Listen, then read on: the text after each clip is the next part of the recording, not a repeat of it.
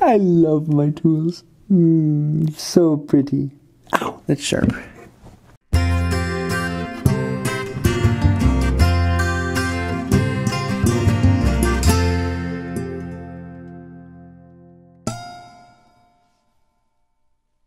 Y'all, I'm James Wright and welcome to my shop. I have a pile of tools laid out here because I want to answer one of the most common questions that I get.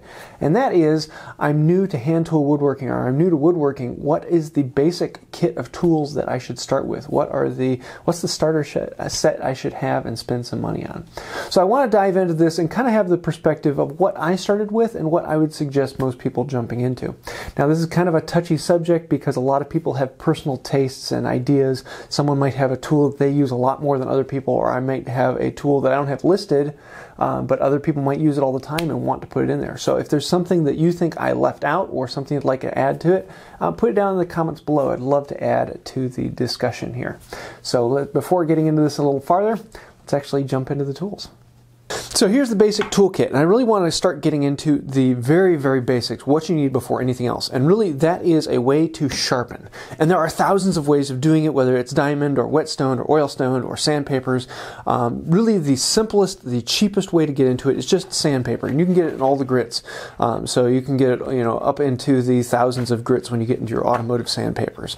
And one of the easiest ways is just a piece of glass or even a uh, table saw um, top or a piece of granite. You can tape it down on there and then you can use your chisel or whatever and work at it. Uh, whether or not you want to use a honing guide is completely up to you. Um, I started without any honing guide and I just used it the basic way, um, hand working it and getting used to that. So sandpaper and glass, uh, really that's how I started. Um, you can get into some basic whetstones um, after that. I'm going to be leaving a link to a lot of these tools in the description below. So if you want to see some of those, you can look down there.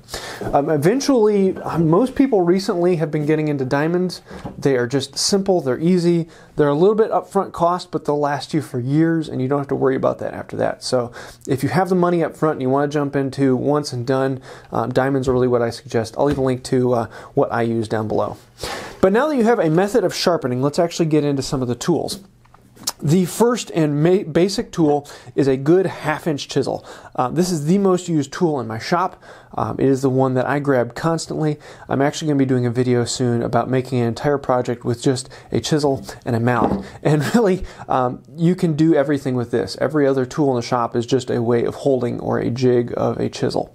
So, um, yeah, get yourself a decent chisel right off the bat. Um, now, when I say decent chisel, I don't mean dump hundreds of dollars into it. This is actually one I bought from Aldi, the, the grocery store. Um, the Harbor Freight chisels are one that I started off with. Um, they are, uh, you know, for the price, you just you can't beat them. Are they going to last you long? No. Is the handle great? No. Um, but for the price, uh, these will get you going and they'll get you into woodworking. The next two tools after a chisel is a handsaw or a panel saw and a plane. Um, I suggest most people starting with the number four. Um, I find it to be the most versatile, though a lot of people like a number five. It's a little longer, it's easier to joint with. Uh, my person is the, the number four. Um, now, one of the problems with your first hand plane is knowing what actually is sharp. Um, how does it feel? And when I started out, I actually restored a hand plane. I didn't restore this one; it was another Union I had. And uh, you you don't know exactly what sharp is. And every time I sharpened it better, I was like, oh wow, this is what sharp feels like. And then oh wow, this is what sharp feels like. Um, so a lot of people do like to actually buy new or going over to another friend's house to uh, um, to try one out and feel what sharp feels like. Um, but you can start off with a used tool and uh, get going.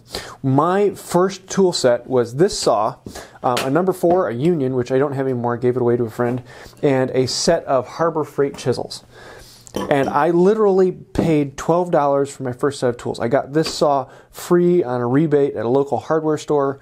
Um, I got this for $5, and then I got my set of chisels for $7. So I spent $12 total on my set of kits. And with these three tools, I built my workbench. Uh, really, you don't need much more than a, a, a simple set of chisels, a decent hand plane, and a crosscut saw. Most of the, the cheap saws you're going to find in the, the big box stores are going to be these. They have hardened teeth. You can't sharpen these, um, but they're going to be sharp off the bat. They're going to be a crosscut saw, and you can do most of your work with this. Is it the best saw in the world? No, but it will get you going and it'll get you off the ground. So if you're looking for a cheap toolkit, Harbor Freight chisel, a restored hand plane, and a cheap saw that you can get at a big box store. Now, I haven't no- mentioned a mallet, and that's because this mallet was actually the first mallet I made. Um, and I made it with these tools right here. I didn't actually use anything else other than you know, a hand plane, a chisel, and a saw, and you can make a mallet. And really, a mallet can be anything. It can be a block of wood. It can be a you know a hammer from the hardware store. It can be just about anything. But making a good joiner's mallet, I think, is one of the the next tools you're going to want. And it's a, a great learning skill. Um, learning how to make the the through tenon, um, how to uh, work with the end grain, how to do some shaping. This is a fantastic tool, and you can make it out of a piece of uh, firewood, which this one was made out of. And I have a couple videos on how to make mallets as well. Next up, we then start getting into the other hand planes. If you have a number four, um, my, my, next suggestion would be to get a number five. Um, get one and put a cambered iron on it so you can make it into a scrub plane. I have a video on turning one into a scrub plane as well. Um, it's a very versatile plane. You can do some jointing with the number five. Um, you, when you turn it into a scrub plane, you can do a lot of your large stock removal. Um, but at this point, you're going to start seeing other hand planes in garage sales and auctions and things like that. And you'll be like, ooh, I can buy that one. Ooh, I can buy that. And hand planes will just naturally come. You will find these all over the place. So don't worry about that unless you're buying something brand new. Um, hand planes will solve themselves as you see them all over the place. Next step after that is actually getting a full set of chisels. If you didn't already get a chisel with yours, um, just get the regular set. And I like uh, I like about you know a quarter inch up to one inch. I rarely use anything larger than a one inch. Um, occasionally I do for paring, but uh, yeah, you're you're you're going to be pretty good if you're with you know a quarter, a half, a three quarter, and a one inch. 99.9% um, of your needs will be solved in that set. After that, we need to start getting into marking and measuring. Now, I haven't talked about marking and measuring because honestly, you can go without it. Uh, most of my pinch was done without marking and measuring because I'm using the actual stock and I'll put the stock down there and draw a line around it and make my work on that. Now, a marking knife would be a very fantastic thing to have. I think it would be the first marking and measuring tool I would get. Um, you can do all of your marking you need with a marking knife. Um, I like to have a double beveled with a flat side.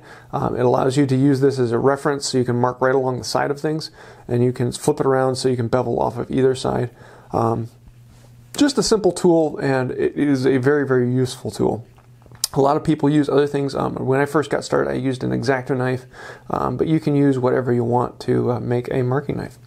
For measuring and marking, a good marking gauge is fantastic. This is an old uh, Stanley. Um, it just has a hardened pin here with a stop. You can also get thousands of other types, but just about any type of marking gauge will serve you fairly well. You can also make them uh, fairly easily. I made my first few, and uh, they're a nice, easy tool and uh, they will serve you very well. Uh, measuring, I don't do a whole lot, and rarely do I measure much of anything over 24 inches, so I like to use this old folding rule. It works very well for me. Uh, they're not as easy to find, uh, but any tape measure will do well as well. For a square, uh, for a long time, this was my only square. Um, it's a six inch uh, try square, and you can do most anything with this. You know, you 45 measurements off of the angle here, uh, which I rarely do anything with 45. Most everything I just want to see if it's square. And uh, you do want to actually make sure that it is perfectly square. And I have a whole nother video on actually checking your square to see if it is square. But uh, once you get one that you trust, um, this is the one that I use for almost everything. It is the most used square in my shop, and really, if you need something longer, you can actually put it on the edge and put a straight edge up against it, and use that straight edge extending your square out farther. So it is a very, very useful tool. And uh, yeah. Now, from this point on, we're actually getting into tools that become a little bit more specialized. You can cut dovetails with this, but it's not really high quality dovetails. Uh, you can get into a lot of other things. Uh, with just this saw, but eventually you're going to start saying, mm, I would like a saw that works better at that.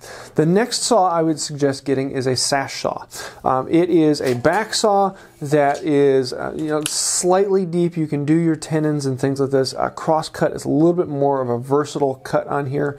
Um, it is a, a fairly simple saw. This is one from Veritas. Um, but you can get uh, cheaper ones. It usually has about a, a two-inch deep head, uh, so you can you can cut fairly deep into it. Um, just an all-around generally good in my, my current shop. This is probably the most used saw I have. Um, it is all around good for most of the, the joints and tenons and things of that nature. You can then get into all of your other saws. Um, getting a large handsaw is a, a good thing to get. Uh, a rip um, you'll find that you'll get them kind of in pairs of rip and crosscut.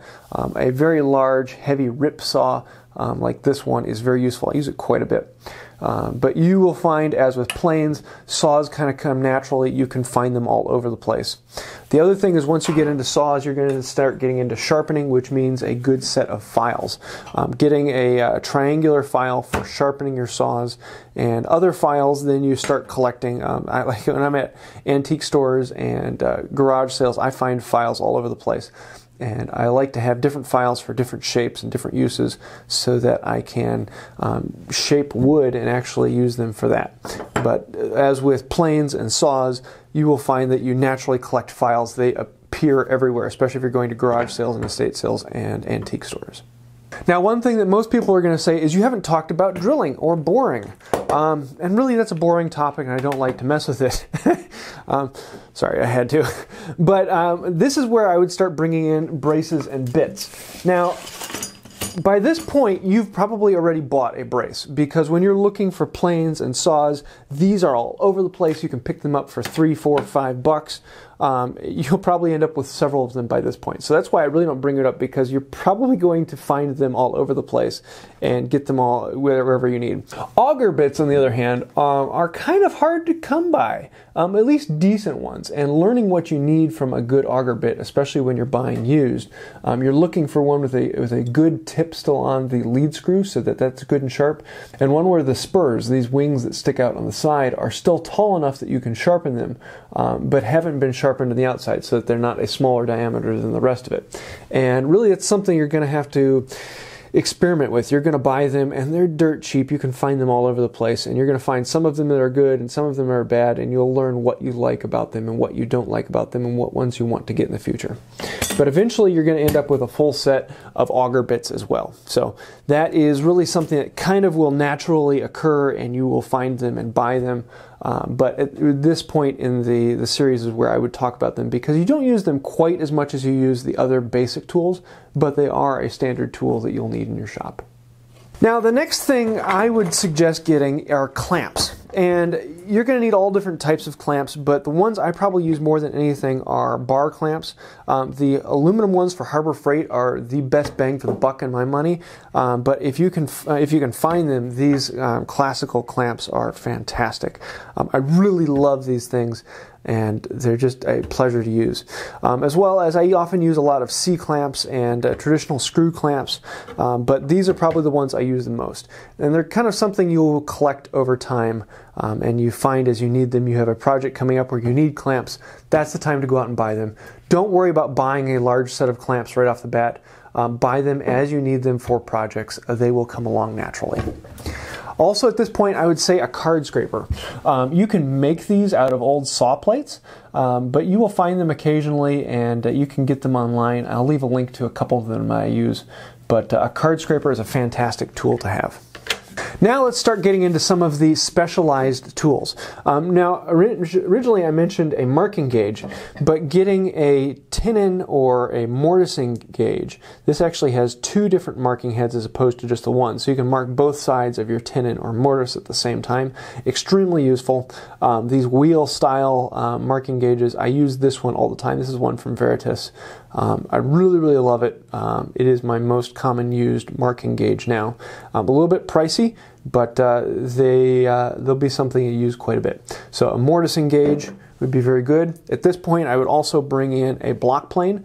Um, now, if you're a power tool user, this might be one of the first planes you want to get. But as a hand tool user, uh, it's not as useful as some people think. Um, it would be the, the tool that I use for doing chamfering or small end grain work. Um, that's when I would bring in a good low angle block plane but it's not a really ne- a major necessity in the shop, at least in my mind.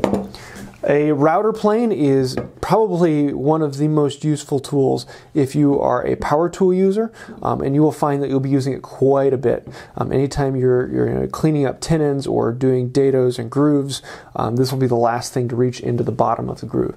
A good router plane is fantastic. You can make these. Um, the first couple I had were ones that I made, and they are very simple to use, um, whereas you can still buy them um, antique or even new now. A spoke shave at this point would be something I would definitely bring in. Um, the more you get into it, the more you will collect spoke shaves. Uh, this is one that I made a while ago. I have a video on making it, um, but you can you'll find all different types for rounded bottoms and shaped sides and different cuts and the ones you really like and the ones you don't you like that much and you'll eventually have a collection of spoke shaves. But yeah, that's something definitely to be thinking about. A coping saw or a fret saw uh, will do you very well for getting into some of your details. You can do most of your curves and most of the, the shaping work you want to do with one of these.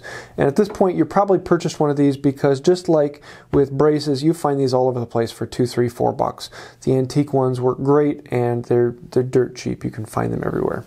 The last tool I'm going to put in the basic toolkit is a plow plane. Uh, this Stanley number 45 is a fantastic tool for all those little things you want to do. When you want to cut grooves, uh, when you want to cut dados, if you want to start getting into molding, um, a 45 will do you well.